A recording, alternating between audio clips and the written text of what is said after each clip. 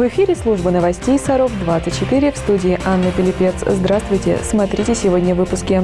Безопасный Новый год. Какие правила необходимо соблюдать при использовании пиротехники? Праздник, используя библиотека имени Пушкина, представила программу на новогодние каникулы. Глиеровская осень. Ученица детской музыкальной школы стала дипломантом третьей степени на международном конкурсе. Далее расскажем обо всем подробно. Заемщиков защитят от навязанных условий кредитования, а зарегистрировать рождение ребенка можно в любом российском ЗАГСе.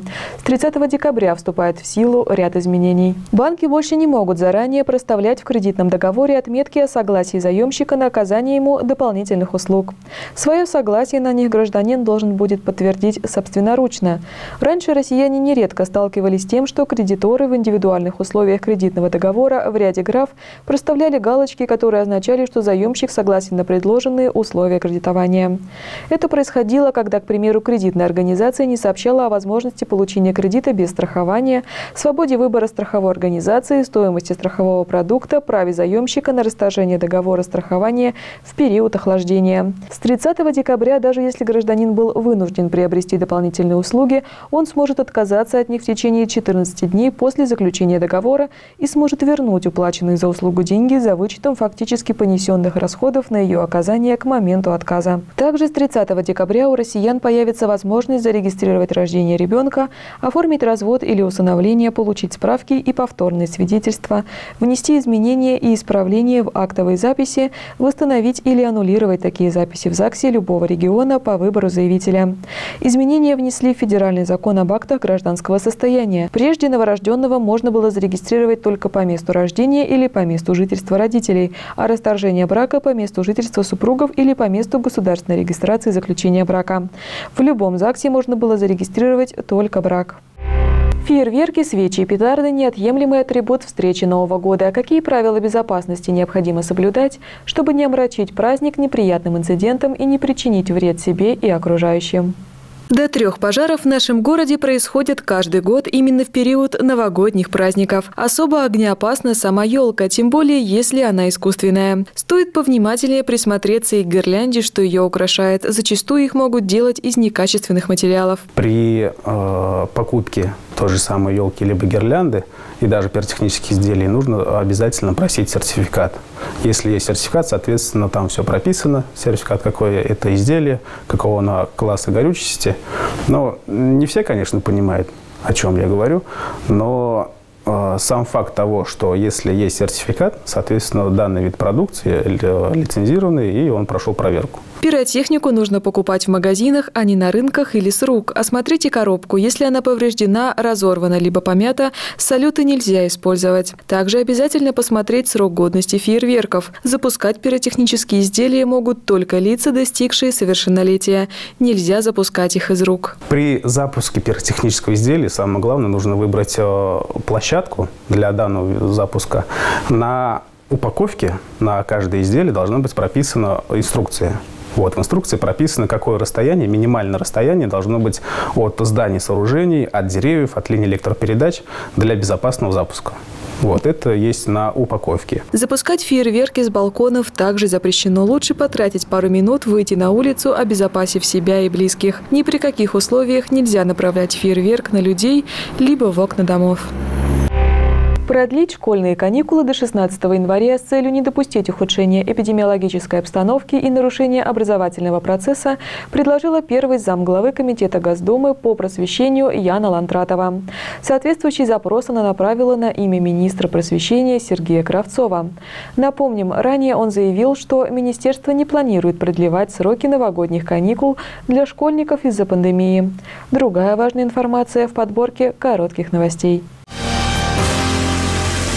Ряд выплат, которые прежде назначали и выплачивали россиянам органы соцзащиты Роструд, с 1 января будет предоставлять Пенсионный фонд РФ. К примеру, через Пенсионный фонд с Нового года будут назначать следующие виды пособий для граждан с детьми. Ежемесячное пособие неработающим гражданам по уходу за ребенком до полутора лет. Единовременное пособие при рождении ребенка. Единовременное пособие при передаче ребенка на воспитание в семью. С полным перечнем мер можно ознакомиться на сайте ПФР. 10 саровских проектов объектов из 16 получат финансирование в рамках программы инициативного бюджетирования «Вам решать». Среди них устройство спортивной площадки на территории молодежного центра, благоустройство бульвара в 16 микрорайоне, благоустройство территории в районе домов 26, 28 и 30 по улице Курчатова, устройство объектов наружного освещения в районе домов номер 34 и 36 по проспекту Ленина, дома номер 21 по улице Пионерской и дома номер 16 по улице Александровича. Ремонт спортивной площадки в районе домов 13 и 15 по улице Некрасова. Благоустройство дворовой территории в районе домов 33 и 35 по проспекту Ленина и дома номер 31 по улице Александровича. Устройство объектов наружного освещения тротуара по проспекту Ленина от дома номер 2 до дома номер 14. Участок от улицы Шверника до улицы Чапаева. Детская библиотека имени Пушкина подготовила для юных саровчан насыщенную программу на новогодние каникулы. Мероприятия будут проходить как в онлайн, так и в офлайн формате. Подробности в следующем репортаже. Подарок для мышки, приключения новогодних игрушек, снежный лев. По мотивам произведений современных авторов нужно было придумать рисунок. Такую акцию подготовила для юных саровчан библиотека имени Пушкина. Работы получились невероятно трогательными и атмосферными. Посмотреть их можно в новогодние праздники, посетив импровизированный вернисаж. Зная, как ребята любят заниматься творчеством и с каким удовольствием взрослые включаются в этот творческий процесс, мы постарались сейчас составить такую программу, чтобы она включала в себя и какие-то какие-то творческие моменты, то есть работа творческих площадок, а, которые будут работать у нас в течение всего дня. А, то есть можно приходить в библиотеку каждый день и здесь что-то делать своими руками. Самый ценный подарок – это подарок, сделанный своими руками. В него можно вложить частичку своей души, любви и заботы о том, кому собираешься его вручить. Пушкинка такую возможность для своих юных читателей предоставит. 3 января здесь пройдут компьютерные мастерилки «Необычные подарки», 4 творческая площадка «Веселые снеговички», а 5 5 января мастерская арт-буков «Зимняя фантазия». Кроме вот этой программы, которая будет проходить в библиотеке, мы еще и традиционно готовим онлайн-программу. И мы уже увидели, насколько хорошо жители нашего города, читатели нашей библиотеки откликаются на онлайн-трансляции. Поэтому ежедневно в нашей группе ВКонтакте будут проходить онлайн-трансляции каждый день в 11 часов. И мы тоже будем говорить о хороших, добрых книгах. Мы будем предлагать какие-то варианты для творческих мастерских. Для тех, кто не успеет посмотреть прямую трансляцию, видео разместят на странице «Каникулы» на сайте библиотеки. Главное богатство любой библиотеки – ее бесценное сокровище – книги. В эти каникулы библиотека предлагает ребятам и их родителям окунуться в мир удивительных, захватывающих, волшебных историй. Мы можем сказать, что сегодня в библиотеке есть очень много хороших, новых, новогодних историй, предрождественских каких-то историй, которые, наверное, очень хорошо почитать как раз именно всей семьей. И когда читает мама или папа, папа, бабушка или дедушка своему ребенку такую добрую, теплую, атмосферную книгу, она, наверное, производит особое впечатление на всех, кто в этот процесс вовлечен. К концу праздников 8 января Пушкинка ждет гостей на зимнюю игралочку «Семейный выходной». Ученица детской музыкальной школы Мария Сысоева стала дипломантом третьей степени на пятом международном конкурсе «Глиеровская осень». О подготовке к выступлению и своих впечатлениях Мария рассказала нашей съемочной группе.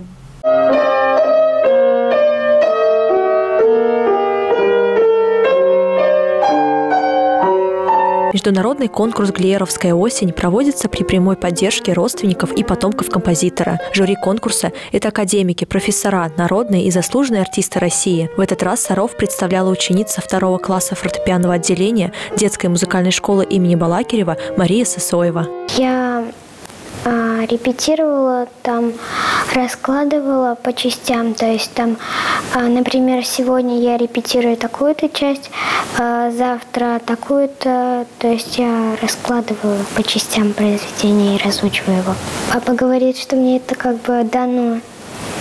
Поэтому мы пошли именно на фортепиано. В связи с ковидными ограничениями стал достаточно распространенным видеоформат участия в конкурсе. Мария и ее преподаватель Михаил Самсонов также записали выступление двух музыкальных произведений на камеру. По итогам Глеровской осени Саровчанка получила звание дипломанта третьей степени. Главным образом все-таки важно то, что э, ребенок музыкально развивается, как он вот себя чувствует в музыке у каждого какие-то свои отношения складываются с музыкой. Вот это, мне кажется, важнее всего. Сейчас Мария Сысоева уже готовит большую программу к следующему конкурсу, который пройдет в Сарове в январе между музыкальными школами города. Светлана Ярунова, Кирилл Новикевич, Сергей Рябов. Служба новостей Саров, 24. Воспитанницы архитектурно-художественного отделения ДШИ заняли призовые места на детской олимпиаде «Дизайн России». Кира Панова и Екатерина Макушина заняли второе место, а Софья Новожилова стала победителем конкурса. Подробности далее. Детская всероссийская олимпиада дизайна – это новый конкурс для молодежи. В этом году его провели впервые. Организатором олимпиады выступила детская школа дизайна в Нижнем Новгороде. Всего конкурс включал пять номинаций – дизайн светильников, дизайн мебели, авторский знак, иллюстрация и плакат. Нам легче такое прикладное творчество, макетное. То есть мы как бы э, ярче всего бы, наверное, представили это все. Поэтому выбрали дизайн светильников. Именно в этой номинации получили задание создать светильник. То есть он, это произвольное было сначала задание, то есть светильник на выбор, потому что они тоже разные все бывают. Олимпиада прошла в два этапа. Сначала участники в дистанционном формате должны были выполнить задание и прислать фотографии готовых работ. А в финале ребятам в режиме онлайн за 4 часа предстояло придумать и сделать совершенно новый светильник. В каждой возрастной категории был свой вариант светильника, то есть свой кому-то потолочный светильник достался, кто-то настольный делал светильники. И они уже в течение четырех часов самостоятельно должны были придумать и сделать его из листового материала. То есть бумага, картон, ну, любой листовой материал, который был под руками. Но у нас был картон и бумага. Юные дизайнеры проявили всю свою креативность и творческий подход к делу, продемонстрировали навыки проектирования и моделирования. Воспитанницы детской школы искусств Кира Панова и Екатерина Макушина в своей возрастной категории заняли второе место, а Софья Новожилова стала победителем детской олимпиады дизайна. Я сделала основание, а идея сама пришла, и получился гриб. Я сначала вырезала круги, а потом э, сверху добавила шляпку и все. Так как зима, я не знаю почему, но я подумала про лето, я вспомнила, как мы с родителями собирали грибы, и я захотела сделать корзинку летнюю. Но я поставила вокруг картона палочки и обвела такой полупрозрачной ленточкой. От архитектурно-художественного отделения детской школы искусств на конкурс прислали 15 светильников, а всего жюри детской олимпиады дизайна получили 1991 работу со всех уголков России. В бассейне «Дельфин» прошло городское первенство по плаванию. В нем приняли участие около 300 юных саровчан. О том, как проходили соревнования, расскажем в следующем репортаже. Легкой воды, быстрых секунд, хорошего старта – это традиционное пожелание пловцам перед началом соревнований. Около 300 юных саровчан в возрасте от 6 до 17 лет собрались в «Дельфине», чтобы посостязаться в ловкости, скорости и спортивной подготовке. Я занимаюсь плаванием примерно 4 года. Мне это очень нравится. Я, выступал на соревнованиях в Нижнем и занимал три первых места, и два вторых, и одно третье. Еще на прошлых соревнованиях я занимал бронзовый бронзовую медаль. Я занимаюсь каждый день, э, э, не покладая рук, мне очень нравится это. Проходили соревнования в два дня. В первый день ребята преодолевали дистанцию 50 метров вольным стилем, 50 в стиле баттерфляй. Во второй день нужно было проплыть 50 метров кроль на спине и столько же брасом. Здесь были как опытные пловцы, так и те, что решили впервые попробовать свои силы в городских соревнованиях. В принципе, можно сказать, что ребята готовы. А, результаты наши растут с, каждым, с каждыми соревнованиями, все выше и выше показывают результаты. А, все старались, все молодцы. Есть молодые участники, которым всего 6 лет. Мы ими довольны, ими гордимся. Награждение было масштабным. 80 юных спортсменов завоевали первое место в своих возрастных группах. 160 ребят стали призерами. И это все, о чем мы успели рассказать сегодня. Следите за новостями города в группах канала 16, в социальных сетях ВКонтакте, Facebook и Одноклассники. Подписывайтесь на наш канал в YouTube и смотрите все информационные выпуски, авторские программы в удобное для вас время. В студии работала Анна Пилипец. Всего вам доброго и хороших вам новостей.